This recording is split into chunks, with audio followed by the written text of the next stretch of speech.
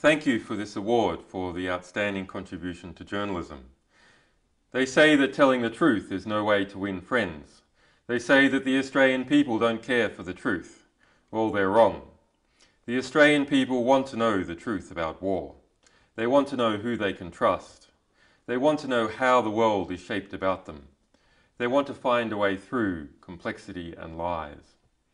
Yes, our work has given us a lot of powerful enemies, but it has also given us good friends. It has brought out the best in people, courage, loyalty, compassion and strength.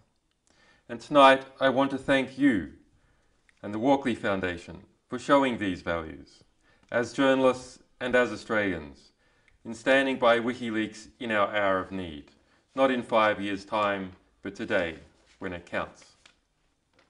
And I want to thank all of those who have continued to stand by us, our sources, our donors, our defenders, people without whom we could do nothing. We, journalists, are at our best when we share with activists and lawyers the goal of exposing illegality and wrongdoing, when we help to hold others to account.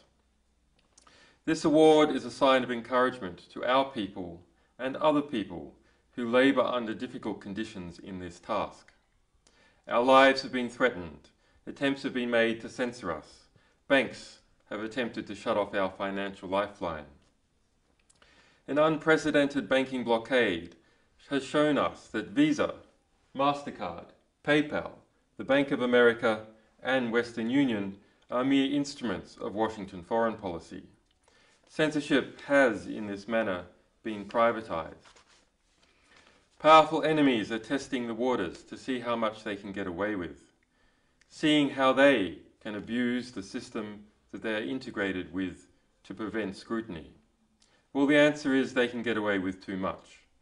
I expected the hate speech on Fox News, but not the calls by US senators for the extrajudicial assassination of myself and my staff. Neither did I expect that the United States would aggressively undermine its own constitution to persecute me and my organization. But I can understand the Washington elite's reaction. Washington is waging a war against the truth. It was, after all, the truths about Washington and their friends that we revealed. What I cannot understand is the craven behaviour of the Australian Prime Minister Julia Gillard. It is embarrassing. Does she really think that she can become Obama's deputy and then run off with his friends and his job in the manner that she did with Kevin Rudd and so many before him? It won't work this time. The US Constitution won't permit it. It is time Julia Gillard stopped sucking up to power and started using the power that she has to the benefit of the Australian people. This time last year, Julia Gillard commissioned an absurd, absurd whole of government task force against us, comprising of ASIO, ASIS, the Department of Defence, the Attorney General's Office and the Australian Federal Police. The Prime Minister falsely stated that WikiLeaks had acted illegally. The AFP had to take the embarrassing role of correcting her. The Attorney General stated that he was looking into cancelling my passport why I was under dire circumstances. After pressure from the Australian people and the Australian media, McClelland decided not to, saying not that it was wrong, but that it was helpful for tracing my movements. When I was awarded the Sydney Peace Prize for our work, the Australian High Commission refused to host it. These and other acts will be an infamous memory in Australian journalism.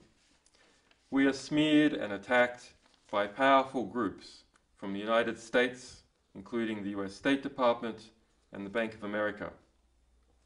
A grand jury in Washington has spent the best part of a year trying to indict me and our people for espionage.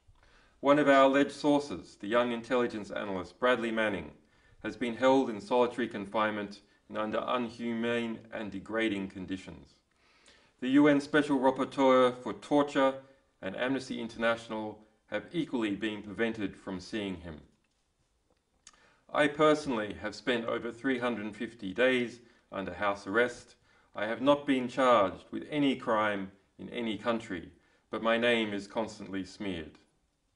Our supporters in the United States, in Great Britain, and in Europe have been arrested en masse, with over 78 raids on various individuals. The reaction to WikiLeaks has demonstrated that, in the West, such attacks are no less vicious than in other parts of the world.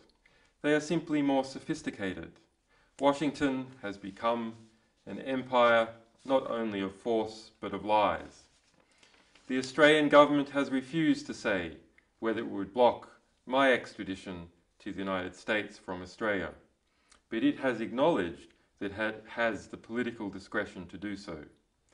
The Gillard, the Gillard government has shown its true colours in relation to how it's handled US pressure on WikiLeaks. Australian journalists are courageous, the Australian population is supportive, but Julia Gillard is a cowardly Australian Prime Minister. As Australians, we shall not despair. As long as we can speak out, as long as we can publish, and as long as the internet remains free, we will continue to fight back armed with the truth.